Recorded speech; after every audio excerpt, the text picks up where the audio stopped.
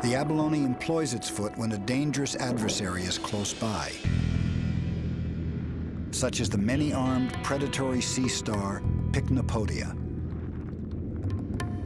The abalone could clamp itself down, but then it would face the slow, suffocating torture of Pycnopodia's death grip.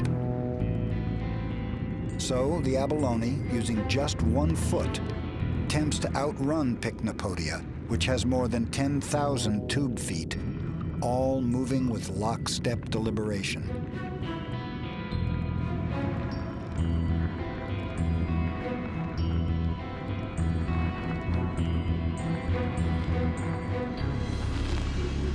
Because the abalone's foot is attached to its shell, it can twist with powerful torque and wrench itself free when its pursuer catches up.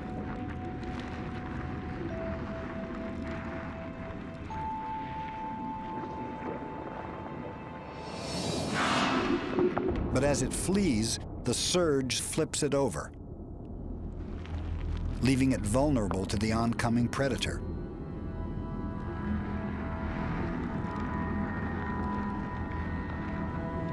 With time running out, the abalone must get a suction foothold and right itself.